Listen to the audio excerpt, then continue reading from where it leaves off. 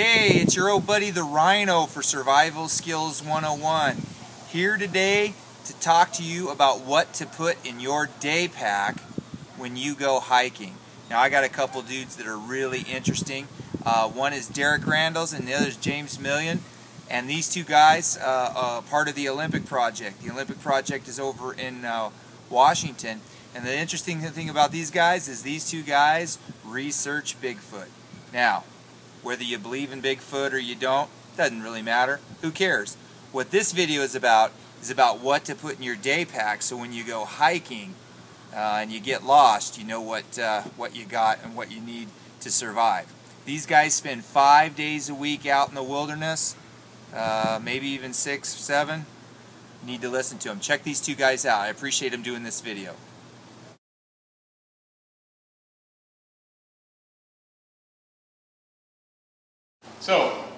Start right out here.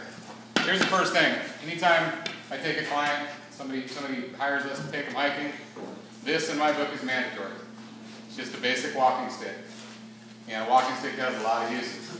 So today on our hike, we were doing some off-trail stuff and coming down some pretty pretty steep grades.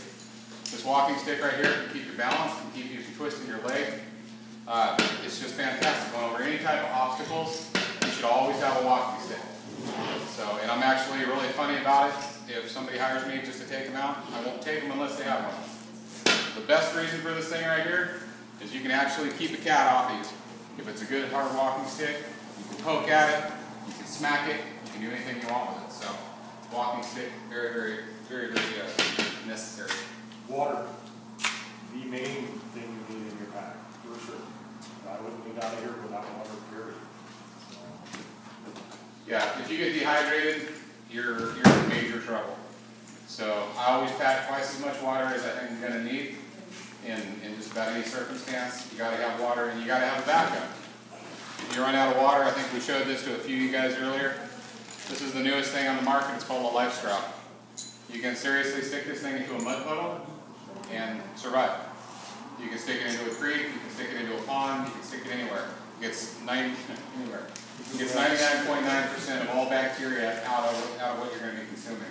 So, and it goes through hundreds of gallons before it needs to be cleaned, but then it can be cleaned and it can be used again. So, mandatory in your backpack, or iodine or a filter, something like that.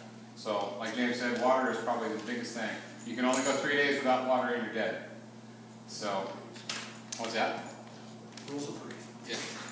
So, you guys go ahead. Knowing your surroundings, look at a map, know where the hell you're at before you just take off in the woods. Like, if you go in here, there's a trail, you have to cross the trail. If you cross that trail, head up in the woods, you gotta cross it again. Don't cross it again unless you know where the hell you're going. You know, know where you're at at all times. Along with that, if you're going to go out in the woods, you're going to do Bigfoot research, go on off-trail hike, make an itinerary and make sure somebody knows where you're going. When all possible, take somebody with you. I solo hike all the time, but quite honestly, solo hiking is stupid. Things happen. Legs get broken, strokes happen, heart attacks happen.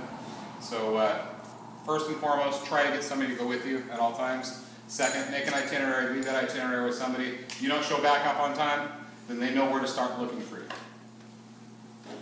These wonderful devices. You hit the mic on this, it'll tell every other one of these exactly where you're at. And these are very unique because they also are GPSs. This particular variety right here, I can turn this thing on, we can get satellites, and I can figure out where James is because it tells me. We'll walk you right to him. So, very, very important. I don't rely on these. I don't rely on anything with batteries. Uh, but they're great to have, you know. Survival, you know, hardcore survival is great, but there's so many great products on the market. If you don't have to go through those extremes, you're spending less energy. So it's, it's great to have this stuff, but we're going to get into, well, I'll just go right into it. Second most important thing in my backpack is a compass. If you're going to be doing Bigfoot research, you're in the woods, you have no excuse not to know how to use a compass. It's very, very, very important. And you don't have to get into plotting and mapping anything like that. It's, it's as simple as getting your direction, picking a landmark, getting an exact degree on that landmark, and hiking to it. You stay on your, on your, on your, on your number. You pick another landmark at the same one, walk right to it. You can walk 20 miles through the woods and come back out in your tracks with a compass. So it's super, super important. This one right here doubles. It's got a signal. This right here, you can signal the plane, tells you how cold it is. It's just vital. You have to have one of these things in your backpack. Simple stuff, fire starter, need a couple of ways to get a fire lit, especially in this country. It's gonna be wet, it's gonna be nasty, and it's gonna be hard to do, but you can do it. If you get stuck out there, you're gonna want a fire. I carry one little tiny fire starter stick, and I'll break that into little tiny pieces, and that's all it generally takes. Start really small. You don't have to start with a big fire, it's not gonna light. You gotta start really, really small and start moving up to it. Light, you're gonna want a couple of different sources of light. This one's not, probably not gonna be enough. You may run out of batteries in one and you'll have a backup. And that's stuff that's in my pack all the time. James just touched on something. I look at a backpack like an airplane. The reason airplanes don't fall out of the sky is because they have redundant equipment. Okay, I have redundancy in my backpack. I have two sources of light. I have at least two sources of fire starter. I have two knives. If you lose something, you still want to have it, right? Could mean your life. So redundancy in a backpack is a great thing. It's a little bit extra weight, but if you're careful, you can you can pack light. There's some great stuff. For instance, this right here is a fairly new product. It's an emergency bivy. This thing will save your life. It'll retain your body heat. It's tiny. It's light, and it goes in the bottom part of my backpack.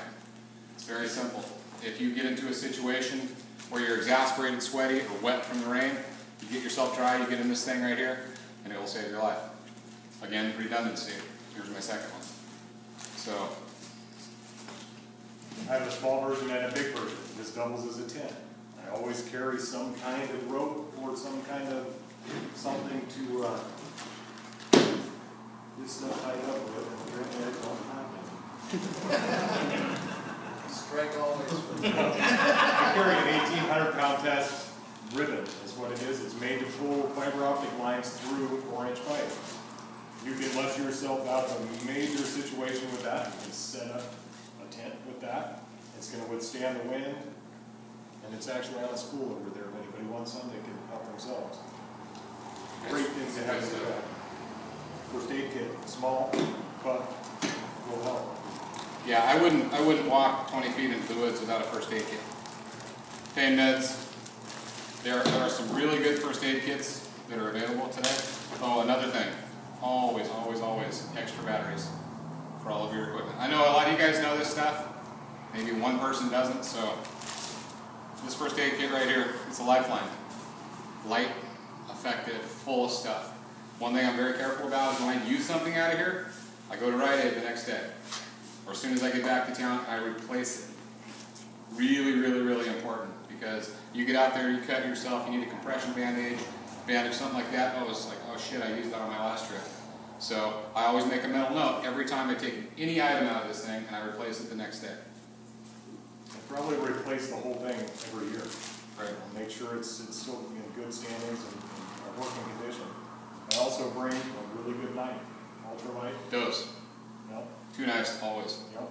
People lose stuff, so it's always great to have a second knife. I wear my first knife out on, on the outside of my backpack. My second knife I keep in here. Knives can knives are so instrumental in, in wilderness survival. You can take a rock and a knife and you can cut trees down. You can make shelters. They're really really important. And along with that, little cheap knife sharpener. Sharp knives ten times more effective than a dull knife. One more thing as far as illumination. Again, being redundant, two sources of illumination. This thing's really cool. Got it at the auto parts store. You can just hook it up here, sit it on the ground, and you're, you're lit up. It's really cool. You don't have to carry it. You can take a branch, and you got a camp light.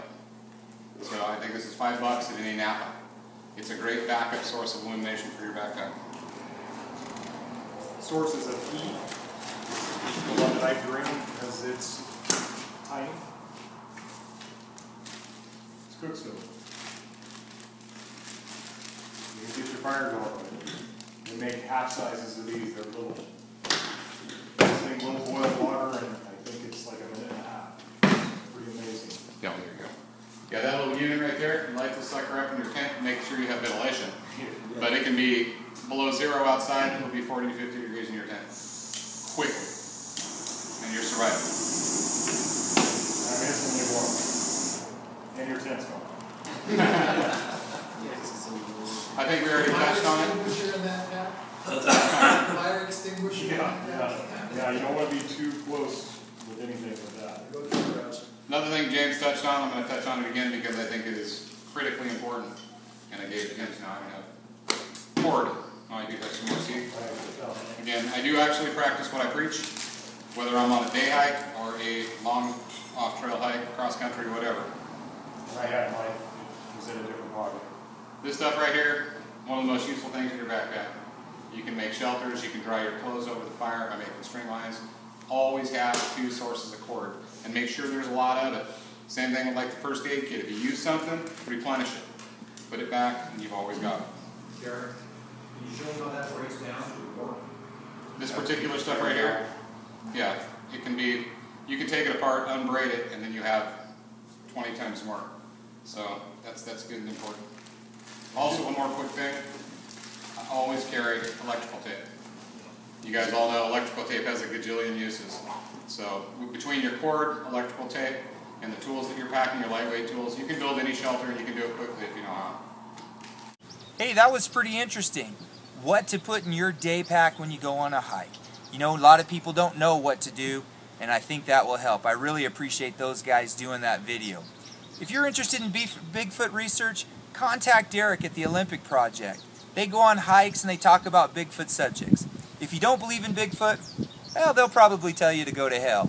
But you know what? It's an interesting topic, and those dudes know all about what to carry when they go out in the woods.